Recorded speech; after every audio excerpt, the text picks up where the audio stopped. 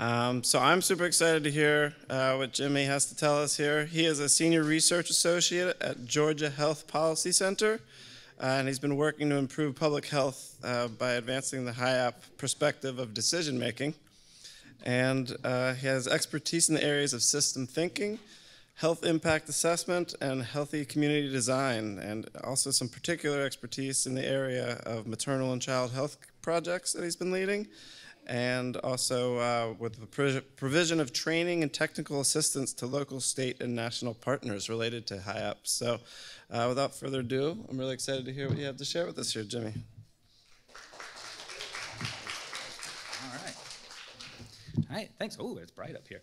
All right, thanks, everybody. Um, I am Jimmy Dills, James, if you're nasty, um, and I'm here to under the banner of decision support tools. And that's very broad and was fiercely taking notes from what Julia was saying. And bear with me as I try to adapt and touch on what she's saying, and I only have 25 minutes.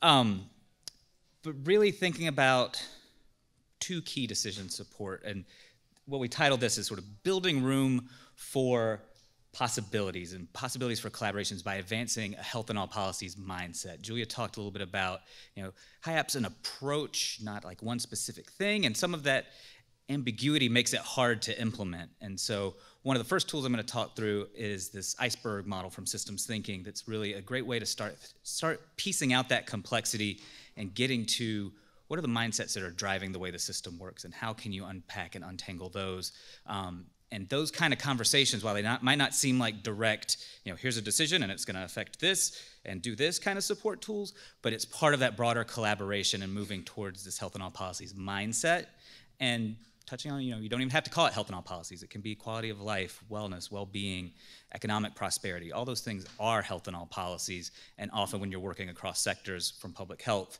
it's a, little, it's a little painful for us to sort of give up on some of our language and use the language of the field that we're collaborating with. Um, so that's the perspective I'm bringing on one tool, and then I'll talk about health impact assessment, which can anybody, I can even see, show of hands, who's heard of health impact assessment or been involved in any? Okay, so a good amount.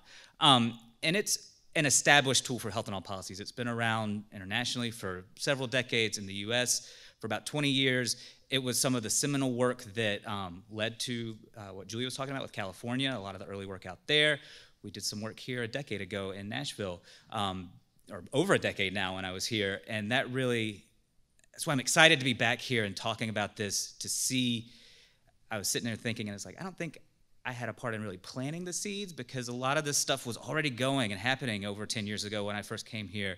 And so I think maybe some of the work we did with the health department back then under communities put, putting prevention to work started to expand this conversation and maybe help nurture those seeds to now see what's happening 10 years later and that there's a large group like this coming from inside and outside government to talk about health in all policies. Um, so I'm going to give a little bit of introduction to myself. Um, talk about health in all policies as a systems approach, then uh, go into health impact assessment. Try not to get too down in the weeds of that, but really sharing that as an, a big, uh, wide encompassing tool that you can pull different pieces out of. Um, share a little bit of our story of how we used HIA to move to a HIAP mindset, particularly around affordable housing practice and policy, um, mostly in Georgia, but had some, um, have also done that work nationally as well. Um, and then share a list, and I assume we're getting all these slides out to you all, and so I have several slides at the end with links to additional lists, including that um, health note analysis and health lens and high C checklist, and a lot of these other sort of more immediate tools that you can use, but I really lean on health impact assessment as the one that can really create the structured space for these cross-sector collaborations to really bear fruit over the long term. Um, and then hopefully have time for Q&A, but we'll see where it goes. So again, I'm Jimmy Dills. I'm from the Georgia Health Policy Center at the Andrew Young School of Policy Studies in Georgia State University. And land, I will say, uh, model the land acknowledgement. So I'm coming from um, land stolen from the Muskogee Creek people that's now called Atlanta, Georgia. And we do, I'm going to skip over too much of my introduction, but I was asked to share a little bit about the Policy Center. And so Julia comes from the Public Health Institute in California, GHPC is our shorthand. We are a public health institute and the Public Health Institute for Georgia, and we're part of a network with Julia's organization and others across the country that forms the National Network of Public Health Institutes. I believe Tennessee has had one and maybe has a new one starting again. I'm not sure. Um, but that's, that's so Julia's is sort of outside of government. We are housed in a university that's a public university, so we are quasi kind of state employees.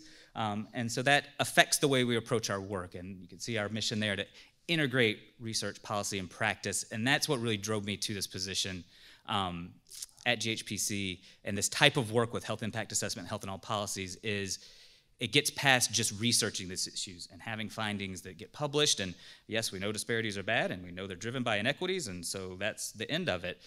This is the space, health in all policies, and this is the, the translational work that makes that real, does something with that information in terms of changing policy, changing practices, moving us forward as you know, local communities, state communities, national communities, even internationally.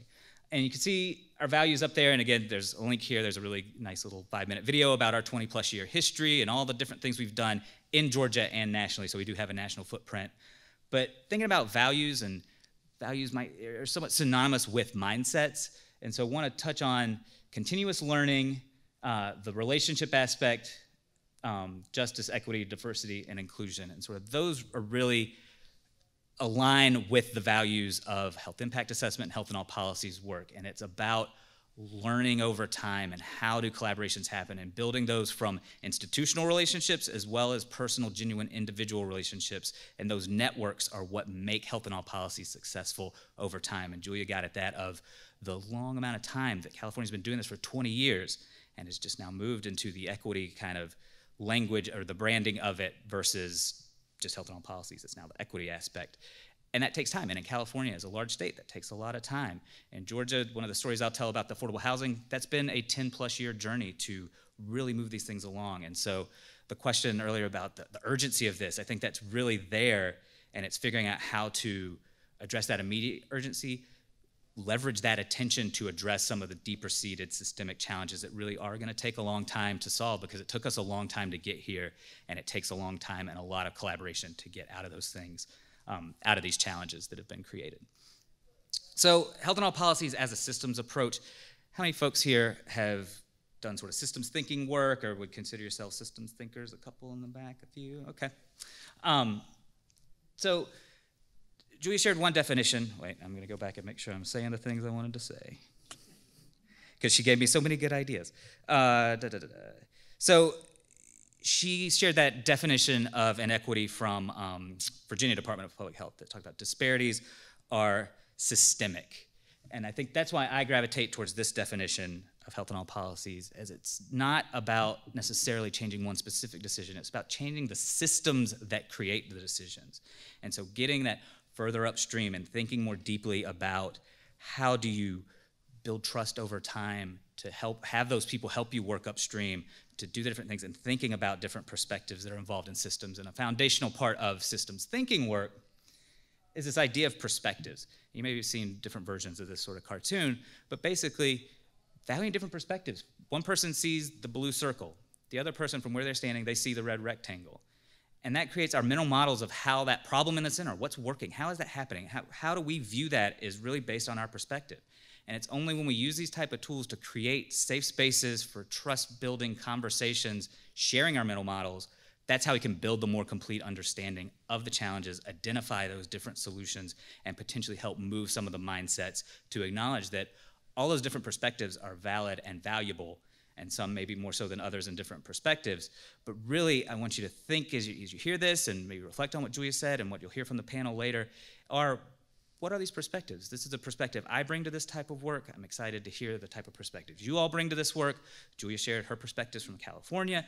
And so, really, just thinking, acknowledging that aspect that we all have our own valuable perspectives from our own lifetime of experience. And some people, that's the lived experience of the challenges we're trying to solve on the ground in communities. Others of us, that lived experience is working in the details of those policies and that nuance and all that, that minutia. And when you have those working together, that's how you can translate some of those personal lived experience stories into actual policy solutions because you're working together based on that, that broader, deeper understanding of the challenge. Um, another thing from systems, try to make it interactive. So another show of hands, who's seen sort of the iceberg metaphor, iceberg model of, of complex challenges? So um, Julian mentioned the sort of wicked problems, and that's synonymous with the complex challenges and complexity in the world.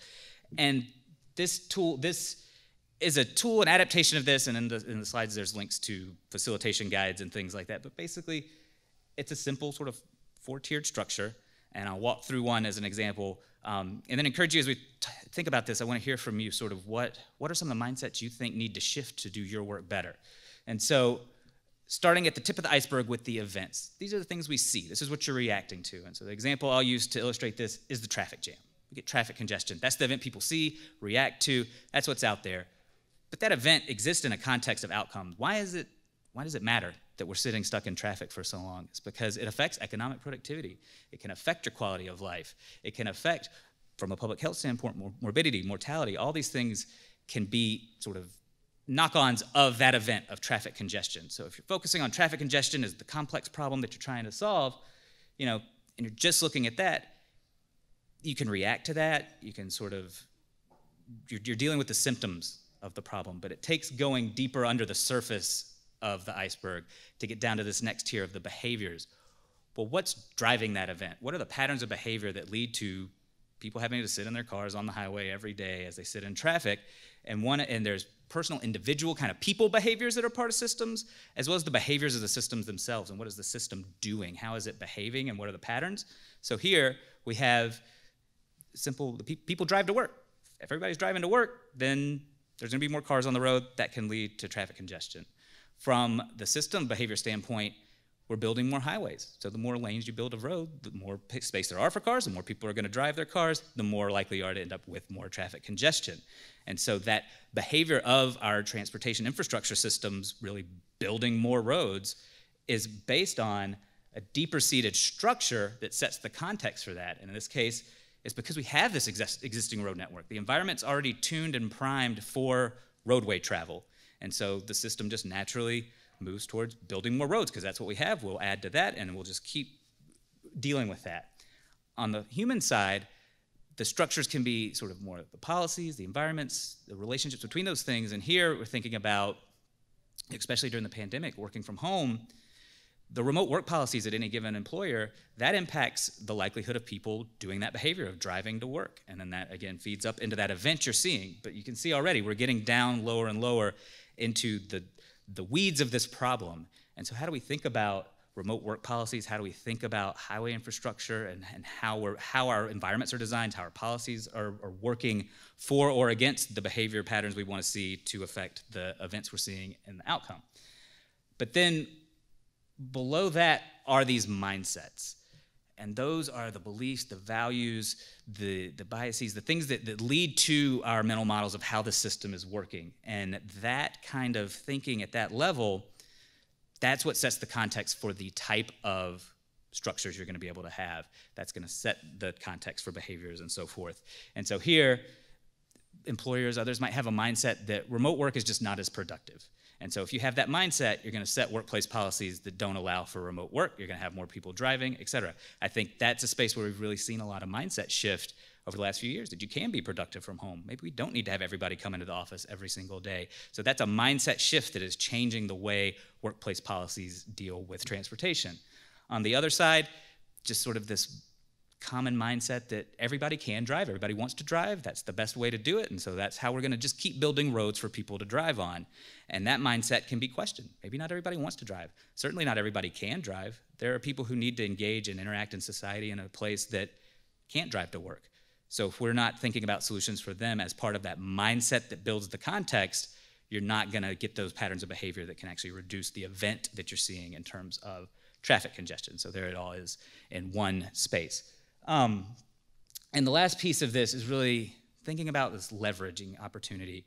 And again, you can react to the events, and often you need to. There are things that you have to react to and deal with. In traffic congestion, you know, that's where you get the, the I don't know what they're called here, but we have the hero trucks in Georgia where they come out and deal with the thing, move the accident to the side so the traffic can keep moving. That's reacting. But then when you're thinking about those patterns of behavior, everybody's driving to work. We're going to make hypotheses around what we predict there in terms of behavior. We can think differently about the problem and come up with solutions that anticipate some of the issues.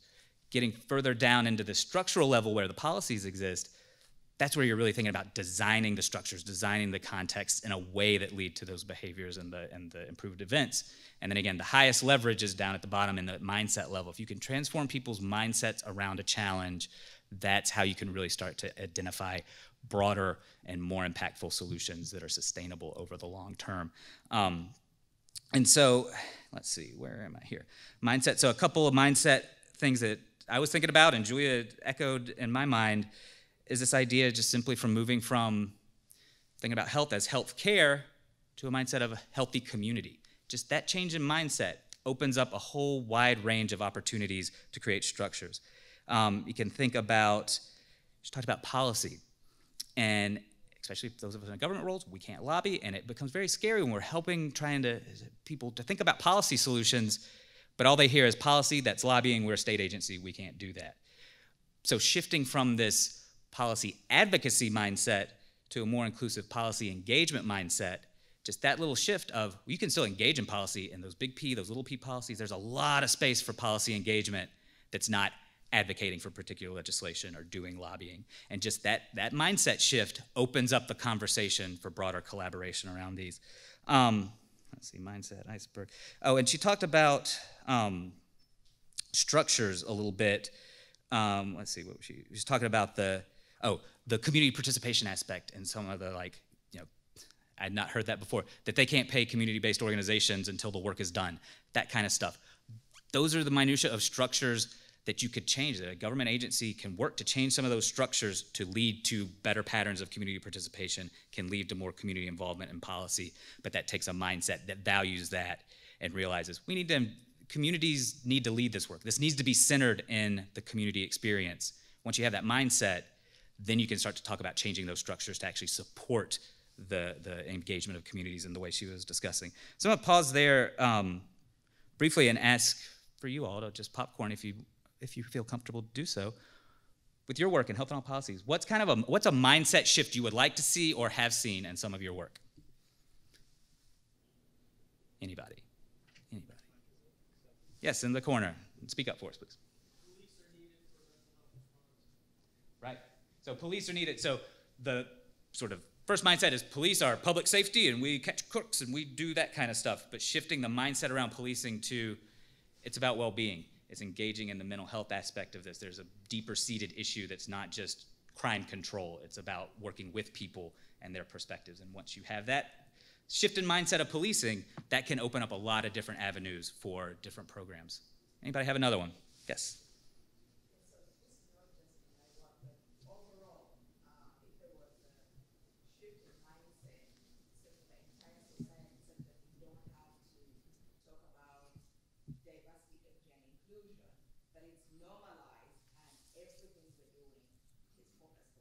Exactly.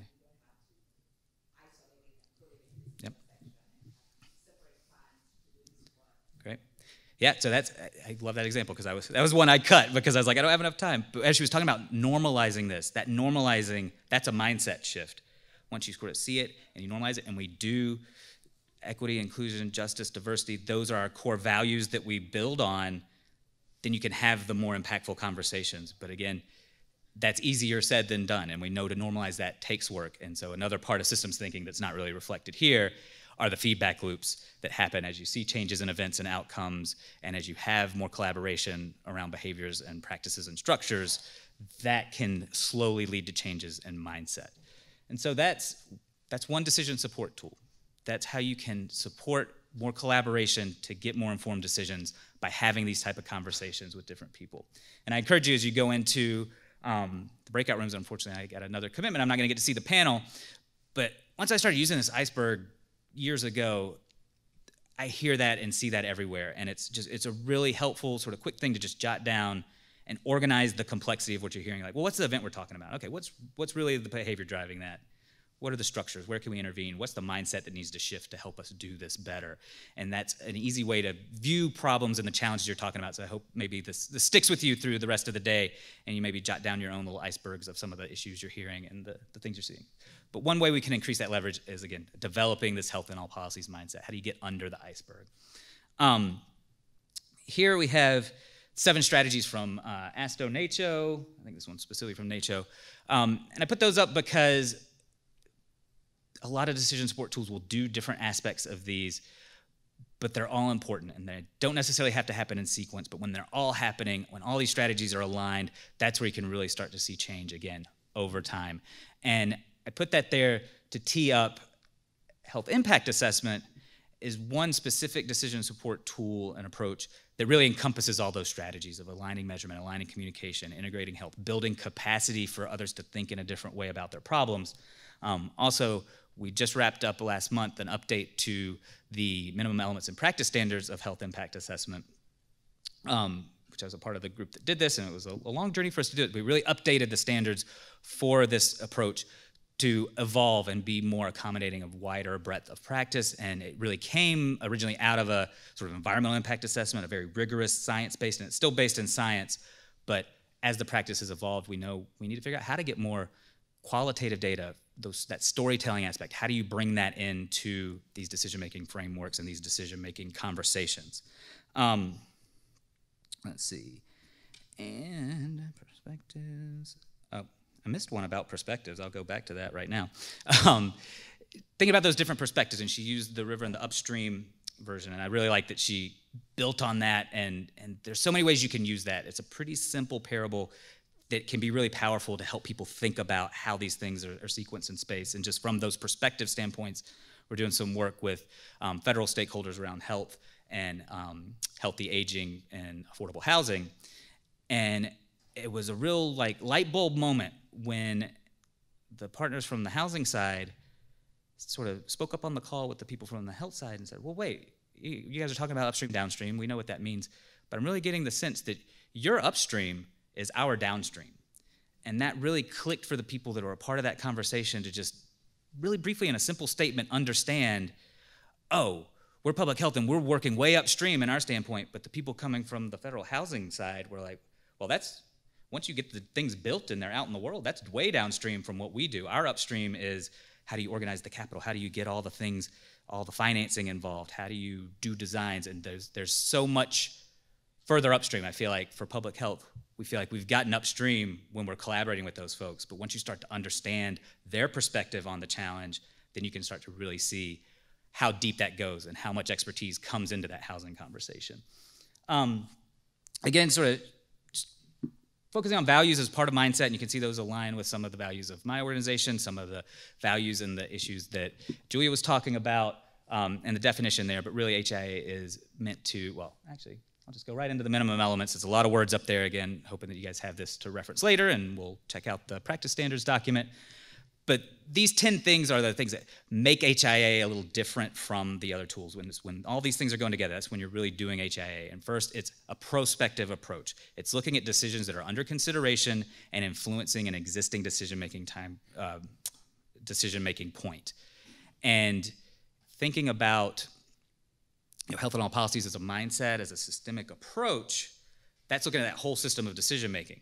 So within that HIA is nested because HIA focuses on a specific decision and can bring together the stakeholders to inform that decision. And that's a piece we sort of changed is to be considered an HIA by what the Practitioner Society defines it, and somewhat arbitrary, but we're, we're experts in this, and this is what we think now, that rapid, intermediate, comprehensive, there's different scales of HIA, all of those need to engage stakeholders in some way people who are either affected by the change the decision you're looking at the people who are making those decisions but it can't just be you as a health person making some notes and some ideas that used to be called desktop HIA, and now we're trying to move away from that language so that HIA, a core, a minimum element of HIA, is engaging stakeholders that are affected by the decision. Um, it systemically considers a range of health impacts, so you rarely do an HIA on like one specific, we're just gonna look at injury here, but rather you talk with the community, you talk with those stakeholders and expand that and talk about not just the injury rates, but what are the behavior rates behind that? How does that affect obesity? How does that affect job opportunities and economic development? But really having this broad perspective of what impacts can be to, again, make those conversations more inclusive of the people who need to hear them, who need to be a part of adjusting and working with those decision-making um, spaces. Uh, it characterized, wait, let's see, where am I? Uh, so then this is some of the, like the nuts and bolts of it. You got to provide a baseline. Um, look at, you know, how, what are the conditions now? But that's not just health conditions.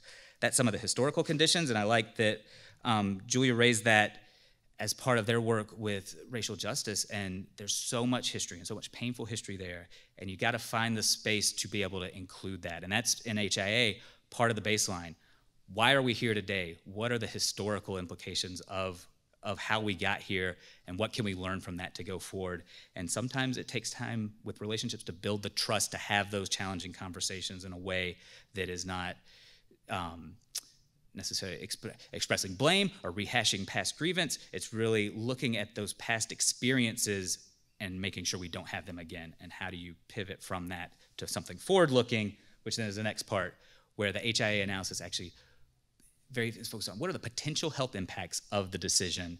And then a real key piece is developing recommendations based on what you find there to actually influence that decision and target that decision with evidence based predictions of potentially where health can health can be impacted positively or negatively and you want to enhance the positive mitigate the negative and that really creates a space where if you're doing it well and doing that inclusive engagement aspect of it people will see themselves in these decisions and see how this recommendation came from the story we heard from that community member combined with this piece of data that led us to be able to make this recommendation that we think will make this project that much better because of it and so when you're stringing all that together to the recommendation aspect, that's what HIA gets you more, a little more so. And I don't want to diminish the value of the other tools that are a little simpler, because I know there's value in simple tools as well. But a lot of those are just sort of checklist and like health saying, here's some information, use it. Here's how we think we could use it. HIA makes that, here's our health information. Where's your information coming from? Let's put those together. Let's collaboratively interpret that and turn that into something useful for the decision and through building those relationships, again, that's how you can sustain longer health in all policies work by building collaborations through tools like health impact assessment. Um, then finally, the back end stuff, it produces a report. It's really good if it's publicly available. At the very minimum, you want the decision makers to see it and the affected communities. Um, and then this is something we really softened in this version of the, the update is evaluating it. It so many HIAs got funded through the years, but not funded for follow-up. And so, a given HIA, the minimum element is just to propose ideas for how can you, who, who can continue to be involved in these decisions? Who can track how these decisions were implemented? Who can track how HIA recommendations might have been um, integrated into what's happening? And that requires sustained involvement of different perspectives. Um, and then finally, proposing the um, indicators to, to measure the health outcomes, to sort of test those assumptions, see if things are improving. Um, I read an article or saw something recently. It wasn't from an HIA, but it was a really interesting article from Texas about the, the highway um, signs. We've had 3,000 road deaths on Texas roads this year. And they, you know, those are supposed to be a self, safety improvement thing. You're supposed to see that and say, "Oh my gosh, I need to drive more safely, and I'm going to do that." Boy, they were able to do a design a study to show that actually injuries increase after that because that distracts drivers. That powerful message messes with your psyche enough that there was, I forget, it led to like 16 more deaths in Texas over the course of a year or something like that. But they were able to tease out that effect that this nudge for healthier driving behavior actually was counterintuitive. And they would not have known that if somebody had not been following that and testing that assumption that, you know, it's made in good intention. Let's show how dangerous roads are, and that might make people drive more safely. Turns out that's not the place to do that. Um, and so an HIA, sorry, I totally went on a tangent there, but the HIA thinks about that. Who can track that? Who's going to track the injuries over time? And that's where it can integrate with um, public sector, public health surveillance, and the issues that you know people are already tracking data on, community health needs assessments. Those types of things can be the place where you might be able to see long-term changes in health outcomes based on what an HIA does.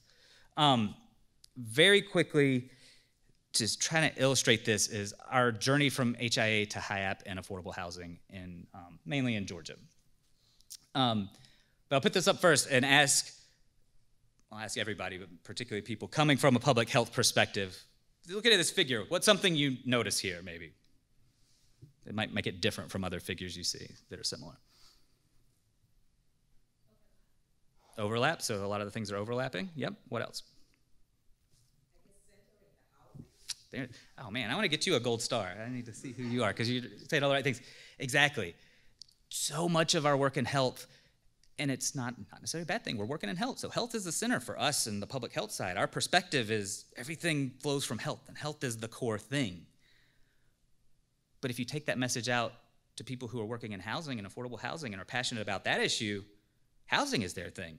Housing is the center of their perspective on these issues. It still overlaps with all the things we want to talk about at health, but just that subtle thing of moving health and environment to one of the things around housing instead of the thing that housing is around changes the conversation and the mindset for collaboration. And this came very specifically from some of this work where once we showed this figure, the housing people immediately saw themselves in the work more clearly, and the public health people had a real aha of like, oh, health doesn't have to be at the center of the diagrams that illustrate these frameworks and all this type of stuff. So again, thinking about what are these small changes you can make that can precipitate mindset shifts to lead to collaborative relationships. And that's what we did here in this timeline. We spent a few years doing specific health impact assessments on housing issues, first in Texas, and then we did one in Georgia on a specific policy and really got in the weeds of that and worked with our state uh, housing finance authority to do that. Then we were able to secure funding to do a follow up that took that state level finding, those state level findings and recommendations, and then looked specifically how they rolled out at specific affordable housing development sites around the state. And that got us in the conversation with affordable housing developers in an actionable way. It gave us a thing to collaborate and help them make their projects better and more healthy. Not that they don't need to do the project, but you're already getting this funding. How can we shift the policy to make you make it a little a little better for health or a lot better for health over time?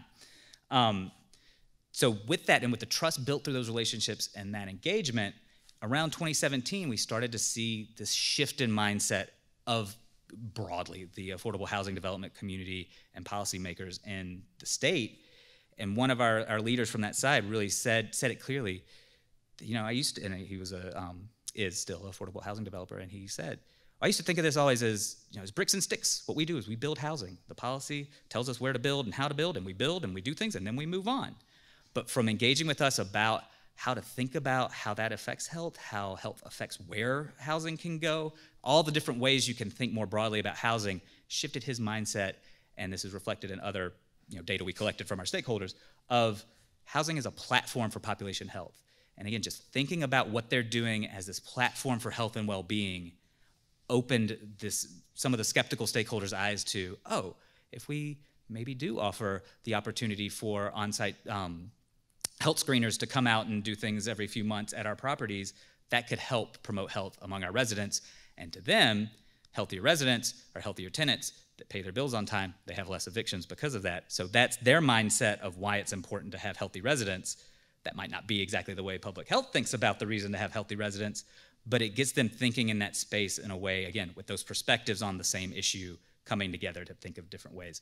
So that sort of mindset shift really led us into this opportunity to get additional funding from philanthropy. We also made some policy changes that created a space where developers were actually paying us through an intermediary to do consulting for them on housing applications. So we really got deep in this system and started to expand and do broader work, working with public housing authorities across the state, engaging the um, systems of partners in those local communities, the developers, um, doing other follow-up actions. And it and Julia also mentioned the um, sort of the time it takes. And you sort of, if you lead with community engagement, that is valuable and that can get you to a certain level. But what we identified early on is well, if we're working at the state level of this and we're bringing ourselves into the state affordable housing development space area, that the way that system already works, the developers run that policy. They have their meetings. The developers basically get to write that policy each year for how the state disperses tax credits to incentivize development. And that's really wonky. And there's not an existing space for community members with lived experience to come into that and provide useful information or have the capacity to even engage in these topics. And so we saw that very early on and acknowledged that as a shortcoming of our early HIAs that the, the equity dimension was really brought in by proxy through agencies that advocate for residents and some of those. So it wasn't completely absent, but we didn't have that lived experience perspective. It took this whole journey to get us to a point now where we have the trust of the state agency, we have the trust with the developers from the information we've given and shared with them on their applications, and we have the trust of the local housing authorities that we really are bringing something worth talking to their residents about and getting the residents in the room to tell us about their lived experience in these units. And one more point here, and I'll move on. There's a big capacity building component of this project as well, where we're bringing these people together in a, and again, simple wording. Think we originally called it a healthy housing learning academy for the, all the stakeholders to be involved in, including residents. And then learned really quickly what if we call it Housing and Health Learning Academy? Again, putting housing first because that's the group we're trying to get to do things differently. And that shift, again, brought more people into these meetings and had great conversations. We had data. So this is skimming the surface of this project. But basically, we created a space that did not exist before for people from a local public housing authority, of like property manager people, resident service managers, resident leaders, the developers, the architects, so the money people, the design people, and the state policy people to actually sit at a table for an entire day and collaborate and look at data and just to see the aha light bulbs go off of the developers hearing that, oh, the way we do noise insulation affects the way I sleep, that affects my mental health, that affects the way I'm able to live my life. And to hear a resident say that and it be reflected in the data we were able to bring and then have that constructive conversation where those perspectives are being shared really led to what we're hoping over time and this is again where we're positioning ourselves to hopefully be able to monitor those changes over time see improvement in health for these residents in these communities across our state and hopefully creating a model that can be used in other states as well. So that's a broad broad thing. So these are sort of the tools i guess i'm sharing with you or this iceberg. I encourage you to think this way today if you can HIA on the right and then these strategies and just how can you leverage different tools and decision making um, support offerings to synchronize communications and messaging around an issue. How can you think about coordinating that funding and investment in a way that expands the tent and gets more people involved? You're not relying just on government funds or phil- philanthropy you're relying on both. You're relying on developer fees. That's what we did in some of our um, work there. And then just to end again, hoping you're getting all these slides. So lots of resources on systems thinking. I'll say that's how I ended up doing maternal and child health work very unexpectedly now over the last four or five years is through systems thinking for their complex challenges. MCH, Maternal and Child Health, thinks a lot about social determinants. They had not been at the table in early, much early HIA work because that work went through environmental health, went through chronic disease, sometimes went through a policy office or equity office but it didn't go directly to maternal and child health for the most part. And so there's a big mismatch there, and that became an opportunity to work with um, maternal and child health stakeholders through these national centers to build capacity of that workforce to think this way. And so there's these in, intra public health silos to break down as well as cross sector silos as we think about bringing these perspectives together. So you'll see that in a lot of these tools if you look at them, they come from a maternal and child health perspective, but they're broadly applicable. Health impact assessment resources galore, ever evolving field. Um, I encourage you to check those out. Other decision support tools, um, just to note that they are out there. I have limited expertise in any of these. You got the stuff that I know the most about, but I know um, John and some others are going to talk, I think, about how they maybe have used some of these or similar tools in their work locally. Um, and then encourage you, all of you, you're here today in a Health in All Policy Summit. You are Health in All Policies practitioners. Join SOPHIA, formerly the Society of Practitioners of Health Impact Assessment, we again are sort of rebranding to be SOPHIA is now just the name of the Network for Health in All Policies practitioners. And that's a great place to go and learn, get to meet people like John. Well, you maybe already know John. I'm gesturing to you because I can barely see you through the lights. Um, John, Julia, that's how we connected to have a conversation about this meeting beforehand. And it's a really informal network, very low cost to join, 50 bucks. And I think we have even some discounted rates for students and others. Um, but that's where we talk about the field and how we get involved in hearing these stories from others and how health in all policies is unfolded across the country um, in a lot of different ways, in a lot of useful ways. And it's just a great network of people to be involved with um, and can energize you for this work if you're getting stuck locally and being frustrated, participating in some of these webinars and hearing what's happening. And um, dude, we had somebody from the, uh, oh gosh, I'm going to say the wrong one. Um, I believe it's the Choctaw Nation in Oklahoma. Um, come and talk about health in all policies, what they're doing there at the tribal level. And just hearing that gave me energy for the whole next week of like, yes, this is still happening. I can solve the problems I'm working on because I have the support of others out in the country doing this work. So, with that, I'm pretty sure I'm over time, but questions or pull me off stage, whatever you want to do.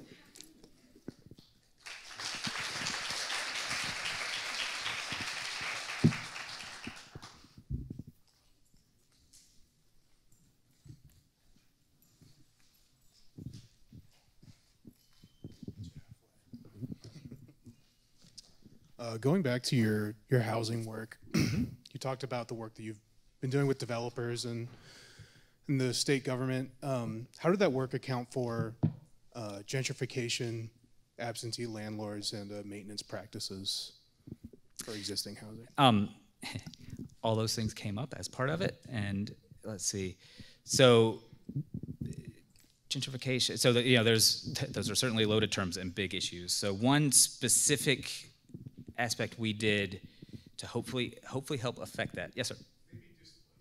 Displacement.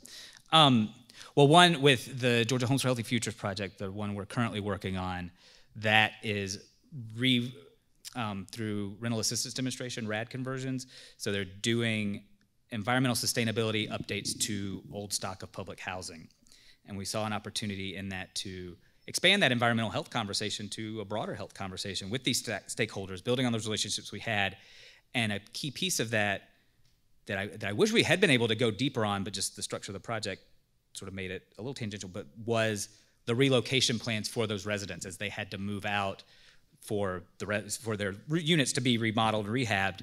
Um, it was interesting working with the developers and the public housing authorities for where could they have stock in their portfolio to, to give the folks that had to move an opportunity to move to another property, you know, same rent, all those kind of things, but then have you know first right of choice to come back to their former unit once it was remodeled.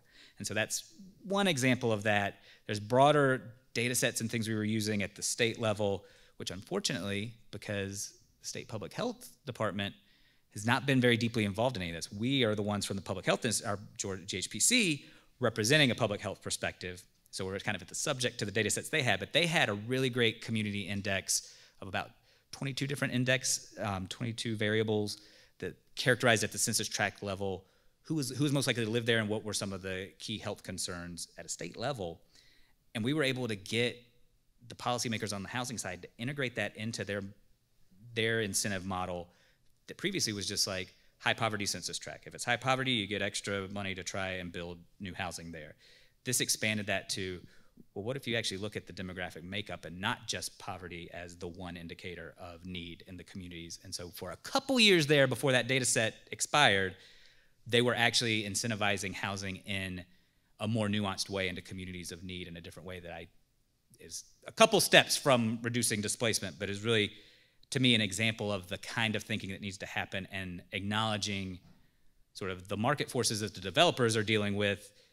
And it's and that's part of the learning is just hearing how they talk about this. And it's you know it's not any one developer eh, broadly trying to move these people out and make this a better place and that kind of thing, but it's more these are the properties we can secure the financing to develop, and this is where they are. And if we're only looking at high poverty tracts as the place to do that, that's going to have ripple effects through the whole housing system. Once they expand that to look at different type of places, oh, there's more uh, Hispanic seniors with limited English proficiency who are likely to work in manufacturing jobs in this area. That tells you that tells you more, and that's able to then say, well, here's the type of housing that might work best here, and the state incentives for financing follow from that again, rather than just here's where everybody is impoverished, let's build affordable housing here, but really looking at that nuanced aspect to decentralize it. And we're starting with some of the uh, what is it, the affirmatively furthering affordable housing, fair housing ruling and stuff that's coming out.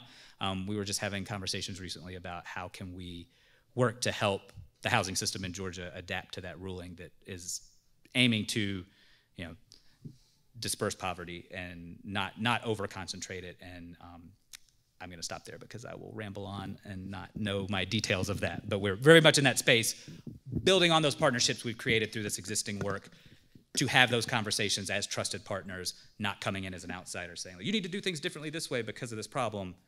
We've already had that conversation, so now we can actually be in that structure with those people. Yes, ma'am. Hi, James. Uh, Kanika Young. We actually met a month ago on Zoom with your colleagues, Angela and Bill, so it's great to see you in person. Yeah. I appreciate your presentation. And the moving housing to be the center of the systems model was really an aha moment for me because I'm thinking back to you know, my work in health policy and equity and focusing on access to healthcare. We've heard things like your zip code is the main predictor of your life expectancy, and there's this whole movement around housing is healthcare, and we know that proximity to resources is really important. And so I was just like, why didn't I think of that before? So thank you for that um, aha moment. But my question is, when you made that shift, did you get pushback from your traditional healthcare stakeholders? And if so, how did you deal with that?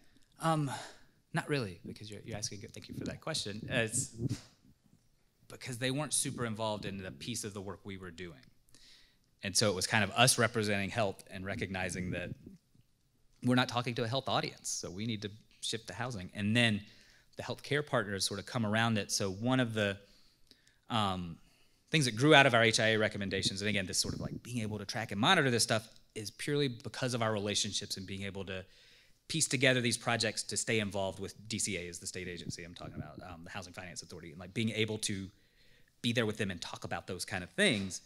That it got a policy where they created this healthy housing initiative, where one of the incentives, one of the things that would get them, you know, score them better to get the tax credits was to secure an agreement with a local health provider to come on site and do those screenings or some kind of health programming.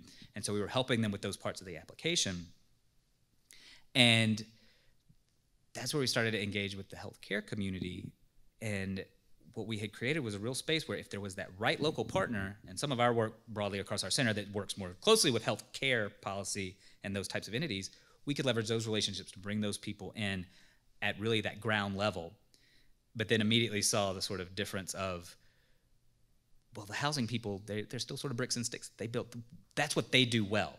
They don't necessarily provide medical services well historically. There's a lot of models now where that housing is health um, health care and co-locating services is a strategy. But if you're thinking about that upstream downstream, that's still that's midstream. That's certainly upstream from clinical care, but it's still potential. And this was the this was the tension we were hearing from them was why do we have to do this now? We, like that's why they hired us through a third party to come in and like look at the data, tell them what would be work there and who the partners might be, and then secure the letter of intent and all that kind of stuff with them because they saw it as that's not what housing people do. We're housing developers. We don't necessarily do that. We're good at building things. But the policy space, this sort of meeting meeting the system where it is to move change slowly, got us where we went with that, even though from our perspective, we would like them to do more design things and more of that location stuff and that further upstream about how is the housing designed and where is the housing and how does that affect your access to health care and health promoting resources in the community but they weren't they weren't that far upstream yet. They weren't able they their mindset didn't allow them to get that far. So we met them where they were of okay we can be a platform for health. To us that means a platform for health care. So we'll just you know offer this and we'll have the the blood pressure van come from the local pharmacy every few weeks and do tests. And that's not a bad thing but it's still not getting that highest leverage solution but it's part of that journey building up to it. So I hope, I hope that kind of answered your question. Hello, thank you for your presentation. My name is Raquel de la Huerga, and I work for the Health Equity Bureau at the Public Health Department. Okay. And I was interested when you were talking about data as a part of the HIA process. I'm curious to talk about the equity issues that come up with using data as your decision making tool, and specifically in terms of humanizing data or having data represent the intersectionality or the nuance that exists in our communities that is felt by the community. And on top of that, looking at how data, census data as an example, has misrepresented what is experienced in real life. Sorry, what was the question? I would just say yes. Uh, to the question that. was how are you approaching equity issues in data and how do you account for the issues that I named Yeah. with the data that exists So- in moving forward and making sure that your decisions are equitable and not solely based off of data that can sometimes misrepresent what is happening. So I'll kind of punt that one, and I am not the data wonk on our team. Michelle Marcus is our data guru who can really get down in the weeds of that. But I think broadly, it gets to some of what Julie was talking about of how do you engage the community in conversation and in, in collective interpretation of the data because there's the existing secondary data that you can pull and that you have and you're right a lot of that comes from inequitable unjust structures that have permeated for centuries that lead to the way we classify people and problems but that's the data we have and the key is to bring in the people with lived experience to help interpret that share those stories where well that doesn't make sense to me i'm i would try to use one uh, what's the census category um, oh crap, uh, the one that lumps everybody together. That's like Asian, Pacific Islander, Indigenous. That one. And we had a, co- this was actually from maternal health, child health work the other day that came up, and they were just like, these communities are so different, and unfortunately that number's so small from the big picture that you like there's reasons that it's you gotta have that category to have enough to say something. But once you're saying that something, you need to take it to each of the components, the, the people who are making up those groups. And if you're really talking to specifically to an indigenous group, have them have them interpret that, share their stories about it, and see where it aligns and where does it mismatch. And then where it mismatches, really lean on that experience. And to bring that experience into projects, it gets to that sort of funding and compensating people for their time at a reasonable rate. And it's not just a $5 gift card, because if I'm getting paid whatever, you know, $50 an hour to be there as an expert, and I'm only paying a community member $5 to be there, that immediately perpetuates that inequity. And so, how can we create in our budgets and our funding structures for our projects really carving out that space? And that's something we've done at the Policy Center over the last several years, have really started to systematize that in our own processes of we're looking at data that's not coming directly from the people we're serving. How do we get those people we're serving to be an authentic part of that conversation? And again, that's it takes time and it's hard to do. But um, just the fact that you're even asking that question in that way tells me that Nashville is in good hands thinking about data from an equity perspective. Yes.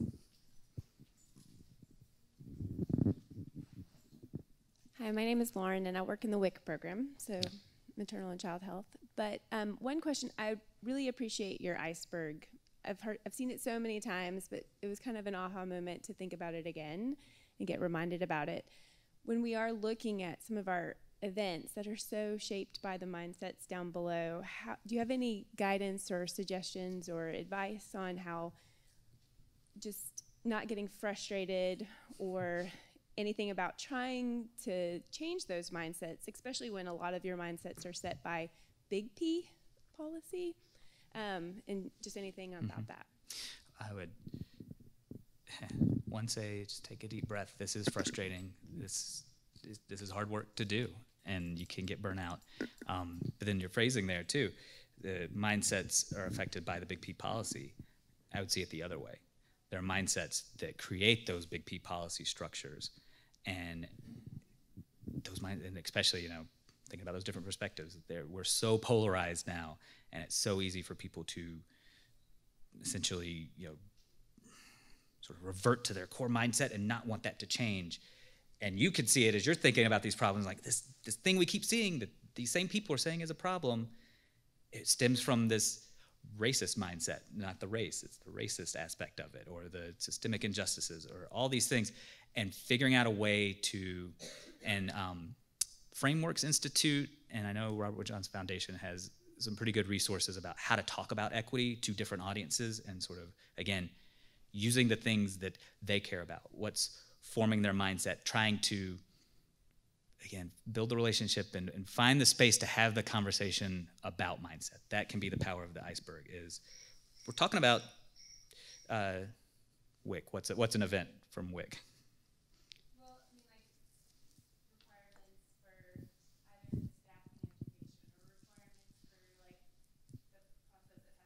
Okay, so so an event might be the WIC recipients are not satisfied with what they're receiving.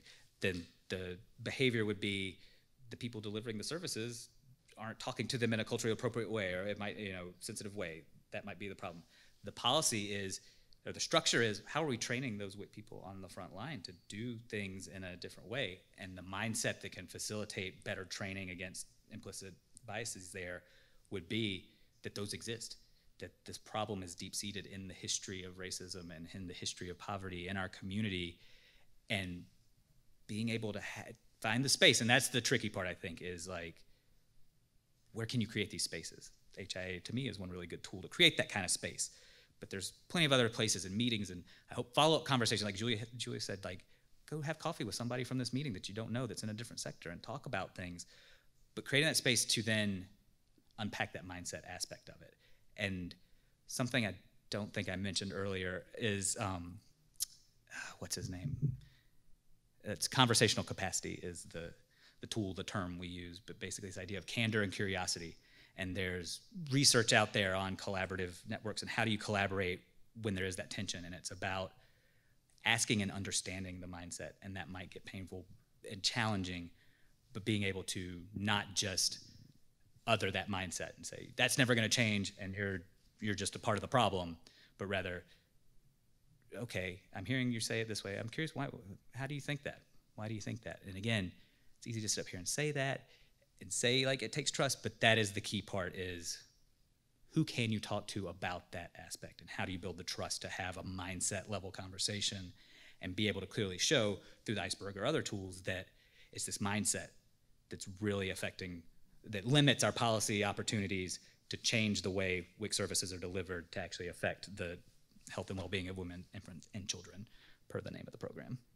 So I don't know. And and to acknowledge the frustration. And I think that's a bigger conversation just about, especially in public health, but I think society wide, just burnout over the last few years and what's happened and the way public health profession has sort of been treated and demonized in a lot of settings, that makes this work even harder to do. And so finding the energy in your peers, finding the energy in these networks to see good examples and uh, aspire to that and you know, take care of yourself first to be able to participate authentically in these types of conversations. And that, that takes time and resources and an investment in yourself to be able to not, you know, not you, everybody, to not get like overly frustrated by this, but own the frustration. Know that it's frustrating because it's a complex challenge. It is a wicked problem. And you need to take care of yourself to be able to, again, authentically come into those conversations. I don't know, I feel like I'm talking like a self help person now, so I don't know if that's helpful or not.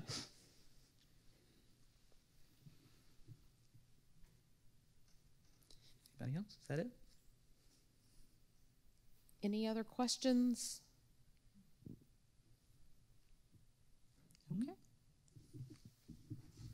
All right. Thank you. There. Thank you.